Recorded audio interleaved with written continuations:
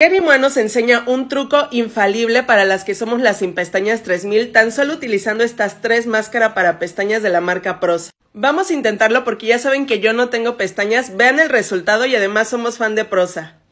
Así que el primer paso es rizar nuestras pestañas. Y por supuesto ya tenemos estas tres máscaras de pestañas de la marca Prosa, que es la Maxi Volumen, la Microfibras y la Profesional. Y lo único que tenemos que hacer es dar una capa de rímel de cada una, empezando por la maxi volumen. Así que empezamos con la primera capa de maxi volumen. Y bueno, así van quedando después de la primera capita.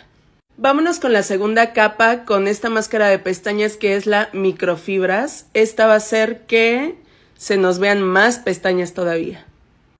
Y así van quedando ya con la segunda capita.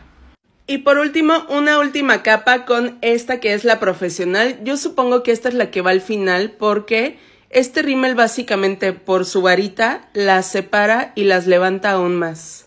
Este fue el resultado y no puedo creer qué increíbles se ven, la verdad a mí me encantó y lo mejor de todo es que nos van a durar todo el día ya que estas máscaras para pestañas son a prueba de agua.